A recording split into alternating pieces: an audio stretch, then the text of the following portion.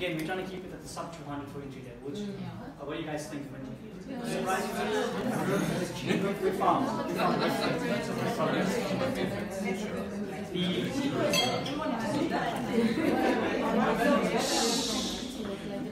yeah, so, so Valdo in particular are our biggest customer. The, the biggest difference, I mean, their product is good. Um, I, I'm not against it because it's a competitor, but Mm. the, the, the thing with competing with the big brands is, as you all know, is they've got deeper pockets than we do.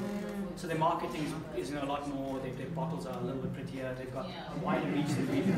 Uh, But we've point. got prettier faces. We've got pretty Of course. The superior